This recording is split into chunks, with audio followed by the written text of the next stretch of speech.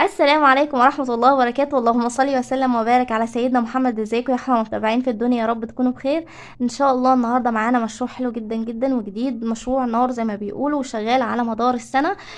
فإن شاء الله خليكم معايا لآخر الفيديو هتستفادوا جدا جدا. ما تسيبوش ولا مقطع في الفيديو ما تسمعوهوش وخليكم معايا إن شاء الله لآخر الفيديو. آه ولو أول مرة طبعا تشوف قناتي ما تنسوش الاشتراك وال like من إيديكم الحلوة وما تنسوش كمان تفعلوا الجرس عشان يوصلكم كل جديد من قناتي منوعات my handmade. يلا بقى نشوف مشروعنا إيه النهارده. أول حاجة في مشروعنا ده آه يعني مشروع ما شاء الله. أول حاجة هقول لكم إن هو مشروع ما شاء الله شغال على مدار السنة ملهوش مواسم. بس طبعا آه الألوان بس هي اللي هي ممكن تكون ليها مواسم أو بنشتغل فيها كل فترة. فأول حاجة معانا اللي هو لو أول مرة تشتغلوا طبعا في مجال ال handmade أو الشغل اليدوي ده ستان معانا مقاس ستان مقاس أربعة سنتي. ده ستان مقاس أربعة سنتي ستان مضلع. ولو حابين برضو تعرفوا الأماكن اللي إحنا بنجيب منها الستان المضلع اكتبوا لي في الكومنتات وأنا تحت أمركم. وطبعا أغلب اللي هو معايا على القناة عارفين إحنا بنجيب الستان المضلع منين وكده. دي بقر الستان المضلع ده البقرة إن شاء الله مشروعنا ده مش هيكلفك يعني يا دوبك معانا من من 200 جنيه ل 250 أو 300 جنيه إن شاء الله. يعني ده أقصى مشروعاتنا في الشغل اليدوي أو أقصى مشروع لواحده مبتدئة. هتبتدي من 200 جنيه ل 300 جنيه إن شاء الله المشروع مش هيعمل معاكي أكتر من كده.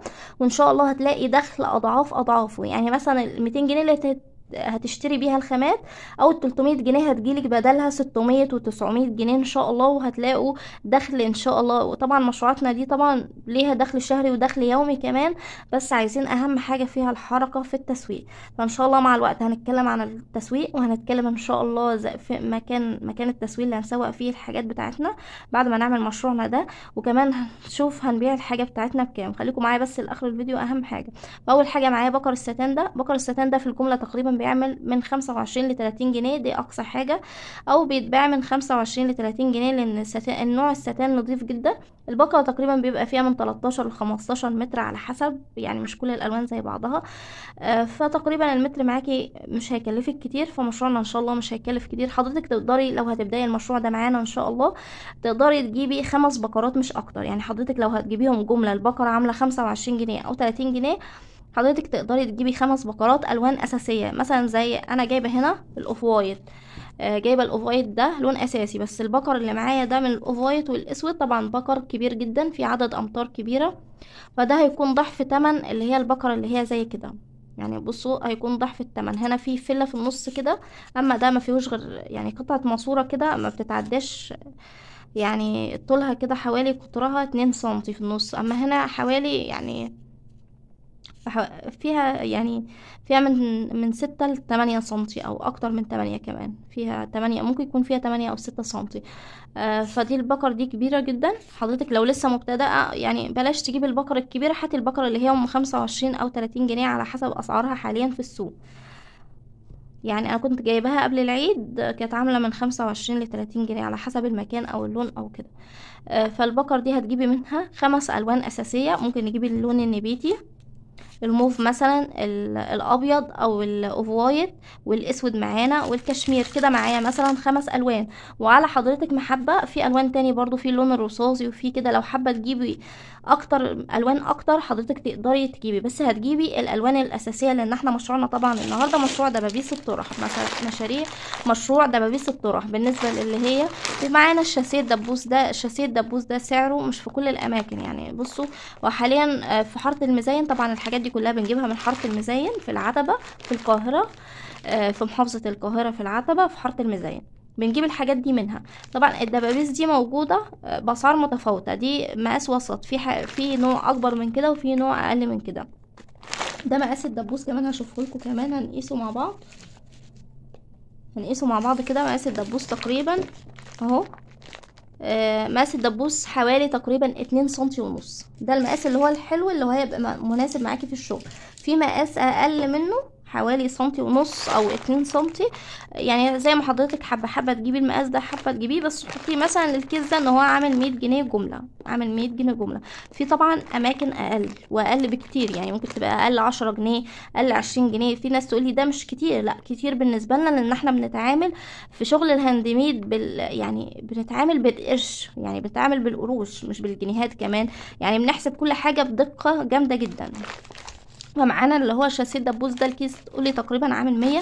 يعني لو حضرتك جبتي آه كيس شاسيه دبوس من ده بمية جنيه وخمس بقر من البقرات دول بمية جنيه. ولو حضرتك عندك مسدس شمع هنحتاج لمشروعنا مسدس شمع. لو حضرتك عندك مسدس شمع أو هتشتري جديد آه طبعا يعني هو الشمع بس هو اللي حاليا أسعاره مرتفعة شوية. يعني الكيلو بيبدأ يعني من مية وتلاتين لمية وخمسين برضو أنواع مختلفة على بس أنا بفضل اللي هو النوع اللي هو التايواني أو النوع اللي حاليا موجود في السوق لو موجود اللي هو النوع الصيني. حلو جدا جدا جدا. في ناس طبعا ما بتشكرش فيه وبتقول عليه إن هو نوع مش حلو بس أنا بشكر في النوع الصيني بصراحة. شغله حلو جدا جدا. في أي حاجة بنشتغلها في مجال ال handmade شغله حلو جدا. فدي الحاجة التانية اللي محتاجينها مسدس شمع مسدس الشمع ده عامل من خمسة وأربعين جنيه وانتي طالعة. فأفضل إنك انت لسه بادئة في المشروع اشتري مسدس شمع صغير بلاش الكبير. يعني بخمسة وأربعين جنيه حلو جدا كده ميتين خمسة وأربعين جنيه. حضرتك هتحتاجي هتحتاجي برضو مقص هتحتاجي مقص. وطبعا مفيش بيت بيخلى تقريبا من المقص فدي مش حاجة يعني كبيرة. هتحتاجي مقص. هنحتاج بكرة خيط هنحتاج بكرة خيط وطبعا موجودة في أي بيت أي لون موجود عندك هيناسب لأن كده كده الخياطة مش هتبان معانا. يبقى دول الحاجات اللي أنا محتاجاهم. محتاجة مقص... محتاجة قصدي مسطرة أو مزورة زي دي زي اللي موجودة عندي مزورة أو مسطرة عادي موجودة عندك في البيت هتناسب جدا. ودي الحاجات اللي هي مشروع موجودة معانا. لو الحاجات في حاجات لو موجودة عندك أو هتجيبي أقل وفي أكياس الدبابيس دي بتبقى أكياس أقل كمان لو حضرتك بادئة جديد. في أكياس بتبقى الكيس عامل عشرة جنيه الكيس فيه مية دبوس بس بعشرة جنيه أو أكتر على حسب ارتفاع الأسعار حاليا لأن الأسعار زي ما قلت لكم متفاوتة. فممكن توفري كمان وتجيبي يعني أقصى حاجة تجيبيها بميتين جنيه مش أكتر من كده. ومحتاجين اللي هو الورق بتاع شاسيه الدبوس اللي هو ده. ده الورق اللي بنحط عليه الدبوس. آه المية ورقة تقريبا يعني بيعملوا من خمستاشر لعشرين جنيه على حسب برضو المكان اللي بتجيبي منه. وعلى فكرة يا جماعة في محلات كتيرة بتبيع في حارة اليهود. آه بس المرة اللي فاتت لما نزلت طبعا في فيديو أنا منزلاه في ناس قالت لي الأسعار غالية. لا أنا بفضل ان كنتوا تسألوا في كذا مكان. يعني اسألي في كذا مكان وشوفوا السعر يناسب معاكم أو لا. فهو بتبدأ أسعاره المية ورقة من خمستاشر لعشرين جنيه على حسب الخامة بتاعة الورق برضو. في بيبقى فيه غلطات في الكروت اللي هي بتتحط عليها الدبابيس وطبعا بنحتاج أكياس تغليف كيلو أكياس التغليف ممكن تشتري أقل من كيلو يعني تشتري كمية صغيرة بعشرين جنيه أو حاجة. فإن شاء الله المشروع معاكي مش هياخد أكتر من 300 جنيه. يعني حط له ميزانية من 200 ل 300 جنيه على حسب حضرتك موجودة عندك مسدس الشمع والمقص والحاجات دي. لو مش موجودة عندك إن شاء الله هيكلفك 300 جنيه وهتلاقي أضعاف أضعاف ال 300 جنيه. وإن شاء الله هيدخلك دخل شهري ما يقل عن 1000 جنيه في الشهر بس إن شاء الله كل المشروع اللي محتاجه محتاج حركة مش أكتر. طبعا ده بالنسبة لموضوع التسويق. هنعتبر إحنا المشروع عملناه هنسوق فين؟ هتسوقي محلات الجملة اللي موجودة في حارة اليهود اللي أنا اشتريت منها الورق. في نفس المنطقة اللي أنت اشتريتي من الحاجات دي هتخطي يا دوبك الناحية التانية. وتروحي حارة اليهود وتسوقي حاجتك حاجتك هتلاقي محلات كتيرة بتبيع اللي هو الحاجات دي جملة. هتاخد منك كميات وهتلاقي فيها عائد ربح حلو. أنا كمان بتكلم إن دخلك هيكون ألف جنيه في الشهر مكسب ليكي. دخلك هيكون بال... بإنك شغالة كمان جملة مش قطاعي طبعا أنا مفضلش الشغل القطاعي. طبعا الجملة ده أفضل حاجة هيدخلك دخل ثابت هيكون عندك دخل شهري أو يومي على حسب قدرتك في الشغل أو على حسب حضرتك عندك ورشة أو لسه مبتدئة لوحدك. وبرضو حضرتك تقدري تعملي المشروع ده لو انت شغالة في ال handmade حضرتك شغالة في ال handmade أو شغالين عامة في ال handmade فكرة المشروع ده ينفع للسيدات وكمان للشباب برضو ينفع للبنات والشباب الاتنين. عامة السيدات والشباب طبعا الشباب بينجحوا فيه يعني أنا أعرف شباب ما شاء الله شغالة في المشروع ده بتدخل دخل ما شاء الله حلو جدا جدا وعندهم حركة في التسويق وبيخرجوا وبيسوقوا يعني ما شاء الله حلو جدا جدا. فالتسويق بس كل اللي محتاجه حركة أماكن التسويق على حسب ما حضرتك لو حضرتك عايشة في مدينة هتروح المكان اللي هو بيتباع فيه الحاجات الجملة أو اللي هي يعني تجار الجملة اللي هما بيبيعوا الطوق والإكسسوارات والحاجات دي تلاقيها موجودة في حارة اليهود. لو أنت حضرتك من القاهرة هتنزلي حارة اليهود وتسوقي حاجتك مكانك وعلى فكرة في طلب حلو جدا عليها وحاجة ملهاش مواسم هتنوع وتشكلي منه على مدار السنة. إن شاء الله يبقى في أفكار كتيرة وفي أفكار برضو قبل كده إحنا عاملينها. فإن شاء الله يعني خدوا جولة برضو في القناة لو أول مرة تشوفوا قناتي وإن شاء الله هتلاقوا حاجات تعجبكم. دي الحاجات اللي إحنا محتاجينها. بعد كده ممكن حضرتك برضو لو شغالة لو آه كنت شغالة في اللي هو مجال ال handmade والتوك وكده والإكسسوار والتوك والحاجات اللي أنت شغالة من الستان ممكن تشتغلي من بواقي الستان عندك. مشروعنا اللي أنا محتاجاه النهارده كل اللي أنا محتاجاه محتاجة قطعه من الستان. هشيل كل الحاجات اللي هي هشيل الستان كده على جنب وأشيل الحاجات بتاعتي وأرجع لكم تاني. أول حاجة هنجيب معانا قطع محتاجين قطع مقاسها 16 سنتي. كل اللي محتاجاه لعمل الدبوس ده محتاجة قطع مقاسها 20 سنتي. هنقسم القطعه اللي هي من 20 سنتي اللي هو قطعه 16 سنتي. أول حاجة قطعه 16 سنتي. وأحتاج قطعه تانية برضو من نفس اللون مقاسها 4 سنتي. هحتاج قطعه من نفس اللون. دي كانت القطعه دي بواقي عندي وهاخد قطعة أربعة سنتي. يعني حضرتك لو بادئة في مشروع ال handmade تقدري تعملي المشروع ده من بواقي الستان أو بواقي البكر اللي عندك. يعني أحيانا بتفضل معاكي عشرين سنتي ما بتعملش معاكي توكة لأ هتعمل معانا حاجة حلوة جدا. مشروع ما شاء الله مطلوب زي ما قلت لكم في الأسواق على مدار السنة مع تنوع وتغير الألوان. ممكن حضرتك برضو تعملي حاليا اللون الأبيض. ممكن حاليا نعمل اللون الأبيض علشان إحنا داخلين على المدارس وكده.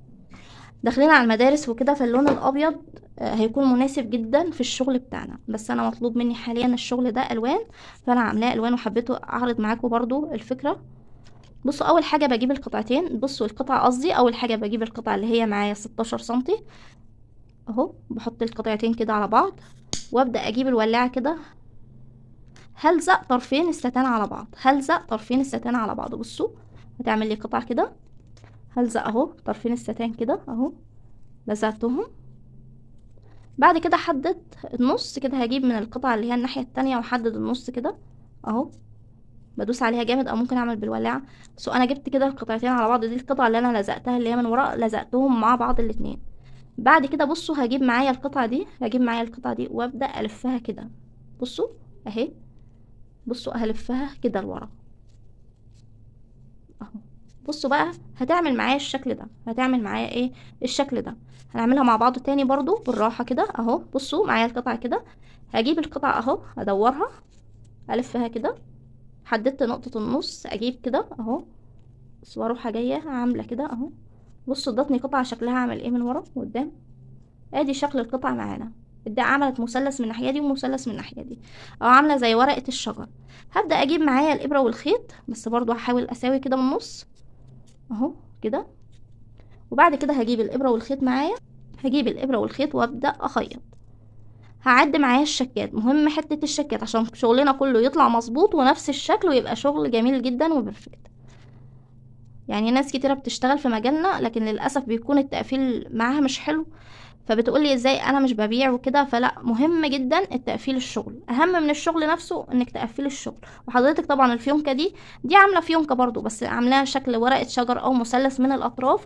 دي حاجة جميلة جدا وماشية يعني يعتبر موديل جديد جدا. بصوا أهي كده. هجيب بقى أخيط. هبدأ أعد الشكات. واحد اتنين تلاتة تلاتة أربعة خمسة. كله معايا كل الدبابيس هتاخد خمس شكات بما إن هو الستان ده مقاسه أربعة سنتي كله مقاس واحد. أنا نسيت يا أعمل الحتة دي كده. هعملها هقعد الخيطة. أنا بس قعدت الخيطة عشان ما أكترش عليكم في الفيديو. بصوا كده أنا عملت كام شكة زي ما قلت لكم. واحد اتنين تلاتة أربعة خمسة خمس شكات. كل الدبابيس هتبقى بنفس الشكات. بعد كده هبدأ أشد. أهو. هشد معايا الدبوس كده. وألف. أهو. أشد. وألف.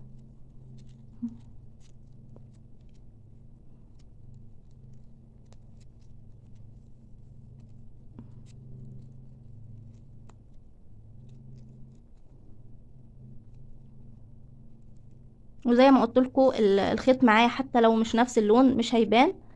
فبصوا اهو كده معايا الشكل. اهو. جميل جدا. بس هجيب ممكن أجيب بقى الدبوس شاسيه دبوس اهو. هجيب كده شاسيه دبوس معايا وابدأ احطه برضو مع الخيط. لو حابة تحط تعملي الحتة دي تعمليها أو حابة تخيط أو حابة تلزقي الدبوس بالشمع الزقيه اللي يريحك. بس أنا بفضل الخياطة. يعني مش بخيط كتير هما شكتين بس بثبت الدبوس بس. وبعد كده أهو زي ما هو كده معايا شكل الدبوس. بعد كده بجيب القطعة اللي أنا عملتها أربعة سنتي. بعد كده بجيب القطعة اللي هي أربعة سنتي. بصوا وأبدأ أعملها كده. هبدأ أجيبها كده معايا. بصوا زي ما أنتوا شايفين. هعملها زي المروحة كده. هاتني كده وهاتني كده من ناحية. هاتني طرفها زي المروحة كده.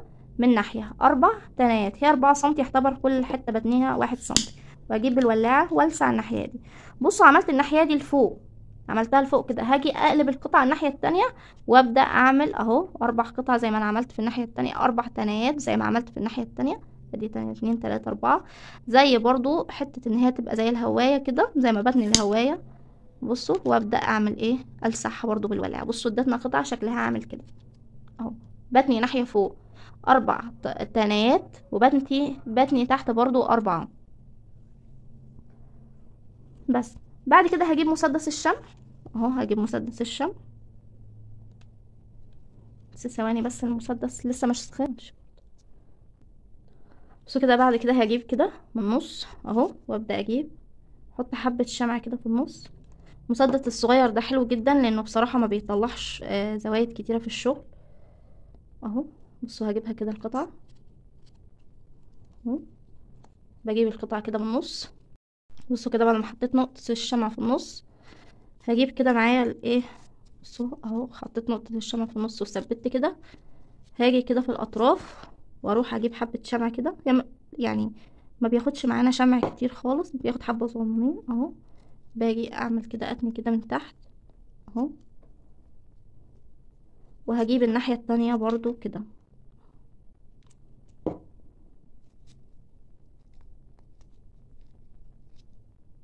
اهو كده بالراحة. نحاول بس الشمع آه ما يطلعش مننا بره دبوس عشان يخلي معانا الشكل حلو أهو. الشكل برضو يبقى معانا كده في النص أهو كده. كده إحنا لزقناه. بعد كده بجيب ورق التغليف. وببدأ أحط عليه الدبابيس بتاعتي. بصوا ببدأ أحط عليه الدبابيس بتاعتي بالشكل ده. ممكن لو ما عندكيش ورق التغليف أو مش متوفر ممكن حضرتك تستخدمي ورق الكانسون أو ورق اللوح اللي هو ممكن تحطي عليه. وبعد كده بنبدأ نجيب أكياس التغليف. وبعد كده هنبدأ زي ما قلت لكم أجيب أكياس التغليف. أدي أكياس التغليف وبتبتدي تحطي فيها الورق بتاعك كده. بحط الورق بتاعي كده وأقفل باللزق كده. هيبقى شكل الدبوس معانا شيك جدا. وفي حضرتك ممكن تعملي ألوان كتيرة جدا يعني مش لون واحد. ممكن نعمل مجموعة من الألوان بصوا هنا في الكشمير في الأسود آه في الموف. في ألوان كتيرة جدا تقدري حضرتك تعمليها. يعني أي لون حضرتك تبقي حابة تعمليه من الألوان اللي هي الأساسية تقدري تعمليه. ألوان كتيرة جدا بصوا أهو عملنا منه. أهو اللون الرصاصي. اللون ده اللون ده ألوان كتيرة جدا. تقدري تحطي 12 12 دبوس من ده في الكيس.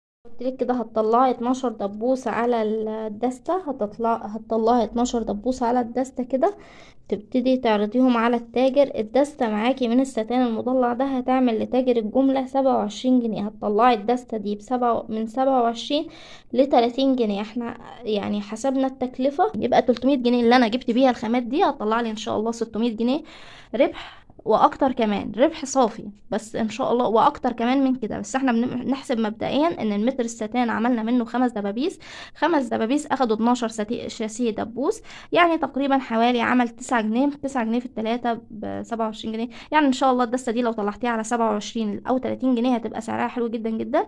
يعني من خمسة وعشرين جنيه الدستة لو طلعتي الدستة دي من خمسة وعشرين جنيه لسبعة وعشرين جنيه لتاجر الجملة اللي هو هياخد منك كمية إن شاء الله تبقى حلوة جدا جدا معاكي وهتدخل معاكي عائد ربح حلو جدا. وإن شاء الله طبعا يا رب يكون الفيديو عجبكم وتدعوا لي بإذن الله.